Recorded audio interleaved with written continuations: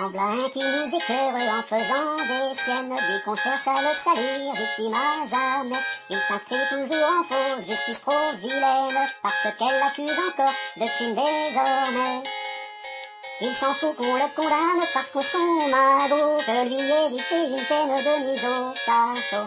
Et lui, il trace sa route, rien ne peut l'empêcher, grâce à son magot sans doute de se représenter.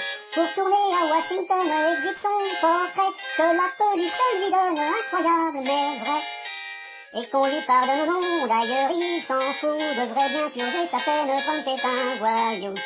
Quand verra-t-on se soumettre, se mettre à genoux, toujours des mots aux lèvres de fort mauvais goût. Et il ne manque jamais d'air, ce sale bougre-là, et le pire dans cette affaire, plein de gens aiment ça.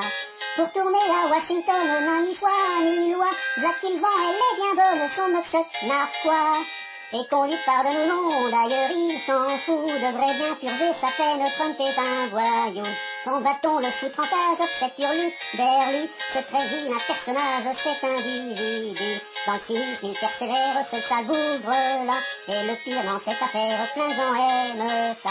Plus c'est gros et plus l'on gobe ce du farfelu, il y a des cons des connes qui aiment ce lodu, et qu'on lui pardonne ou non, d'ailleurs il s'en fout, devrait bien purger sa peine, Trump est un voyou, vivement qu'on le condamne avec son magot, et qu'on le colle en cabane, ce failli bigot, et qu'on le prive de Twitter et de ses mollets, avec des chaînes à demeure au bas de ses mollets.